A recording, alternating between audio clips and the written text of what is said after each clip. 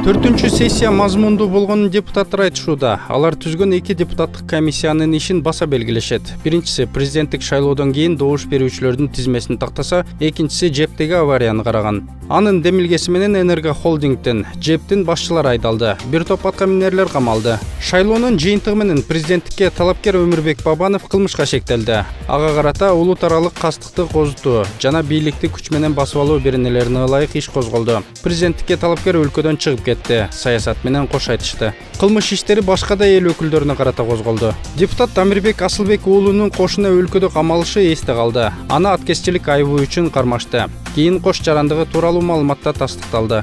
Депутаттыктан биринчи вице премьерликке чейин көтөрүлгөн аскарбек шадиев дайынсыз жоголду. Ага эки берене менен иш козголуп шадиев чоң сууну кечип мекенинен акшга качканы айтылды. Аида салянова канат исаев садыр жапаров игорь чуденовдор да мыйзамды бузганы маалым. Өмүрбек текебаевди партиялаштары актаганын коюшкан жок бирок майнап чыкпай келет. Депутаттар өкмөттүн отчетун начар деп таап ишенбөөчүлүк келтиришти сапар исаков командасы менен отставкага кетти. Мурдагы премьер министрди жепке байланыштуу камакка алышты.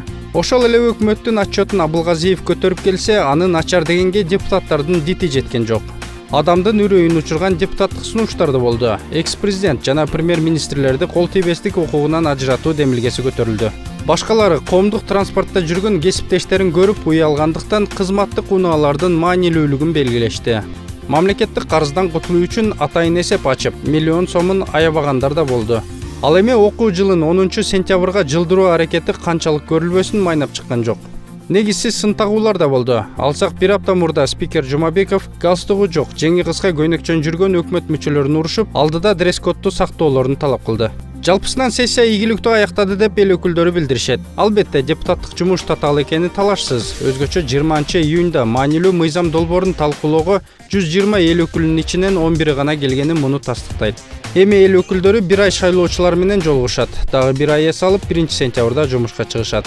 Аман бакиров хасан гафиров апрель телеканалы